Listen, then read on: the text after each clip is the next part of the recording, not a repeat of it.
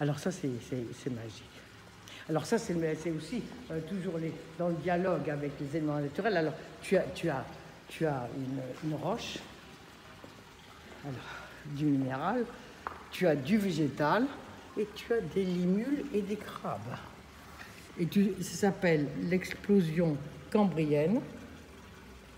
Et l'explosion cambrienne a marqué, tu le sais évidemment, à une année près, l'apparition des grandes espèces animales.